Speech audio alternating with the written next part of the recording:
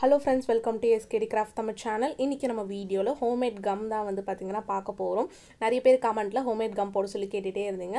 இதுக்கு நம்ம யூஸ் பண்ண போகிற இன்க்ரீடியன்ஸ் வந்து பார்த்திங்கன்னா மைதா வச்சு நம்ம வந்து பார்த்திங்கன்னா கம் யூஸ் பண்ண போகிறோம் வீட்டிலே வந்து சூப்பரான கம் ரெடி பண்ணிடலாம். வாங்க வீடியோக்குள்ளே போகலாம் ஓகே ஃபஸ்ட்டு வந்து பார்த்திங்கன்னா ஒரு கப் மைதா மாவு எடுத்திருக்கேன். நம்மளுக்கு கரெக்டாக மெஷர் பண்ணி பார்த்து எடுத்துக்கோங்க. எவ்வளோ கம் வந்து செய்ய போகிறீங்களோ பக்கத்தில் வந்து பார்த்திங்கன்னா பேக்கிங் சோடா எடுத்திருக்கேன். நெக்ஸ்ட் இந்த மாதிரி ஒரு திக்கான வெசில் வந்து பார்த்து எடுத்துக்கோங்க.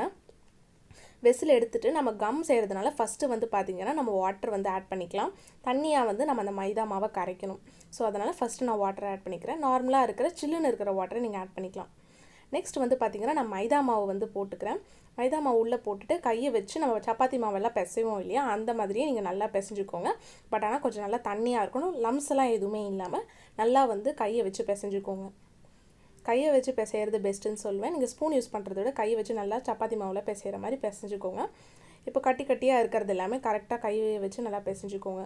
கட்டி கட்டி இருக்கக்கூடாது. அப்படின்னா தான் நம்ம கம் வந்து பார்க்கறதுக்கு நல்லாயிருக்கும் இந்த மாதிரி நான் வந்து பார்த்திங்கன்னா நல்லா ஒரு ஒரு பத்து நிமிஷம் ஒரு அல்ல அஞ்சு நிமிஷம் கிட்டே வந்து பார்த்திங்கன்னா நல்லா பிசைஞ்சுக்கிறேன். எனக்கு வந்து கொஞ்சம் கட் எனக்கு ரொம்பவே தண்ணியாக இருந்த மாதிரி இருந்துச்சு. ஸோ அதனால் இன்னும் கொஞ்சம் மைதா மாவு போட்டு நான் நல்லா வந்து பார்த்திங்கன்னா மிக்ஸ் பண்ணிக்கிறேன்.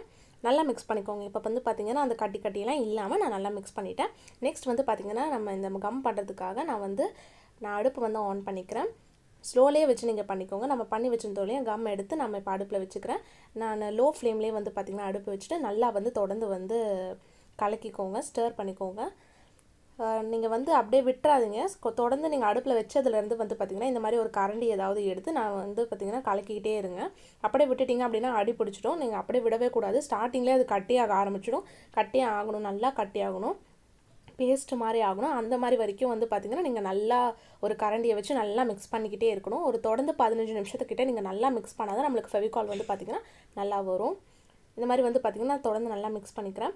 நான் வந்து பார்த்திங்கன்னா லோ ஃப்ளேமில் தான் வச்சுக்கிறேன். நீங்களுமே லோ ஃப்ளேமில் வச்சுக்கோங்க. இப்போ வந்து பார்த்திங்கன்னா கன்சிஸ்டன்சி நம்மளுக்கு வந்து மாறுது பார்த்திங்களா ஃபஸ்ட்டு கொஞ்சம் நம்மளுக்கு கொஞ்சம் லிக்விடாக இருந்துச்சு. லைட்டாக வந்து பார்த்திங்கன்னா கன்சிஸ்டன்சி மாறுது.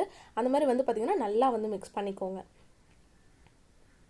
நான் முன்னாடியே சொன்ன மாதிரி ஒரு நல்ல ஒரு திக்கான ஒரு பாத்திரமாக வந்து இதுக்கு யூஸ் பண்ணிக்கோங்க. இப்போ வந்து பார்த்திங்கன்னா நம்மளுக்கு அப்படியே வந்து பார்த்திங்கன்னா ஹீட்டில் வந்து வந்து பார்த்திங்கன்னா கட்டியாக மாறுது. நம்ம மைதா மாந்து பார்த்திங்கன்னா கட்டியாக மாறுது. அது கொஞ்சம் கலர் சேஞ்ச் ஆகும். அப்போ வந்து நம்ம இறக்கி வச்சுக்கலாம். இப்போவும் வந்து பார்த்திங்கன்னா லோ ஃப்ளேமில் வச்சு தான் வந்து பார்த்திங்கன்னா நான் இன்னுமே கலக்கிட்டு இருக்கேன். அதே மாதிரி கொஞ்சம் கொஞ்சம் கீழே இறக்கிட்டு வந்து அப்படியே மிக்ஸ் பண்ணிக்கோங்க. சும்மா மேலேயே வச்சு நீங்கள் மிக்ஸ் பண்ணிட்டு இருந்தீங்கன்னா அடி பிடிச்சிடும். அதனால ஃப்ளேம்லேருந்து ஒன் டைம் கீழே இறக்கிட்டு அப்புறமா மிக்ஸ் பண்ணிவிட்டு திரும்பவும் ஃப்ளேம்லேயே வச்சு நீங்கள் நல்லா மிக்ஸ் பண்ணிக்கோங்க. இப்போ பார்த்தா தெரியும். நம்மளுக்கு கொஞ்சம் நல்லா கலர் சேஞ்ச் ஆகுது இல்லையா? மைதா மாவு நல்லா ஒயிட் கலரில் இருந்துச்சு. இப்போ நம்மளுக்கு கொஞ்சம் டார்க்காக கலரில் வந்து மாறுது இல்லையா? ஸோ அந்த மாதிரி மாறும்பொழுது நம்ம வந்து அடுப்பை ஆஃப் பண்ணிவிட்டு கீழே எடுத்து வச்சுக்கலாம். இப்போ நான் திரும்பவும் கீழே வச்சுட்டு நல்லா வந்து பார்த்திங்கன்னா மிக்ஸ் பண்ணிக்கிறேன். இந்த டைம் வந்து பார்த்திங்கன்னா இந்த மாதிரி ஒரு கலர் லைட் சேஞ்ச் ஆகும்பொழுது ஃபஸ்ட்டு இப்போ நான் பேக்கிங் சோடா ஆட் பண்ணிக்கிறேன். உங்ககிட்ட பேக்கிங் சோடா இல்லை அப்படின்னா வினிகர் ஆட் பண்ணிக்கோங்க. வினிகர் ஆட் பண்ணுறதுனால உங்களுக்கு கிட்டத்தட்ட ஒரு எயிட் மந்த்ஸ் கிட்ட வந்து பார்த்திங்கன்னா உங்களுக்கு இந்த கம் நல்லா இருக்கும் ப்ரிசர்வேட்டிவாக இருக்கும். ஸோ ப்ரிசர்வேட்டிவ்காக தான் வந்து பார்த்திங்கன்னா இப்போ நம்ம வந்து பேக்கிங் சோடா ஆட் பண்ணுறோம் பேக்கிங் சோடா யூஸ் பண்ணுறதுனால ஒரு டூ டு த்ரீ டேஸ் கிட்ட நம்மளுக்கு வந்து பார்த்திங்கன்னா கம் நல்லா இருக்கும். இப்போ திரும்பவும் வந்து பார்த்திங்கன்னா நான் ஃப்ளேம்லேருந்து கீழே இறக்கிட்டு திரும்பவும் நல்லா கலக்கிக்கிட்டேன். இப்போ வந்து பார்த்திங்கன்னா நம்மளோட ஃபெவிகால் வந்து பார்த்திங்கன்னா ஆல்மோஸ்ட் முடி இந்த மாதிரி ஒரு ஆர்டைட் கண்டெய்னரில் வந்து பார்த்திங்கன்னா இப்போ நம்ம வந்து கம்மை ஸ்டோர் பண்ணி வச்சுக்கலாம். இந்த கம் ப்ரிப்பேர் பண்ணும்பொழுது கண்டிப்பாக நீங்கள் சின்ன பசங்களாக குட்டீஸாக இருந்தீங்க அப்படின்னா கண்டிப்பாக உங்கள் அம்மாவோட ஹெல்ப் வந்து கூட வந்து பார்த்திங்கன்னா இந்த கம் ப்ரிப்பேர் பண்ணி வச்சுக்கோங்க. நெக்ஸ்ட் வந்து பார்த்திங்கன்னா இந்த கம் பண்ணுறது ரொம்பவே சிம்பிள் நம்ம சேனலில் புதுசாக பார்க்குறீங்க அப்படின்னா நம்ம சேனலை சப்ஸ்கிரைப் பண்ணி வச்சுட்டு நம்ம சேனலோட ஃபேமிலியை சேர்ந்துக்கோங்க. நிறைய ஹோம்மேட் ஐட்டம்ஸ் நம்ம சேனலில் பார்க்கணும்னு கீழே கமெண்ட் செக்ஷனில் கமெண்ட் பண்ணுங்கள் டாட்டா!